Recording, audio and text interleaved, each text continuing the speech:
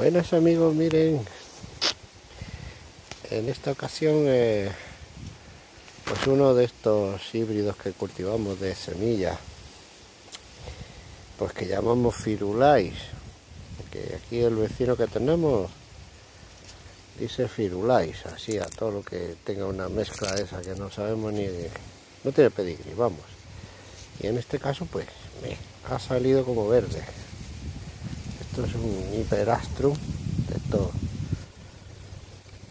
pues firulai no todo no del todo verde.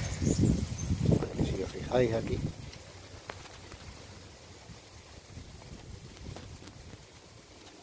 Ahí tiene una rayita roja. Anda mira qué bien.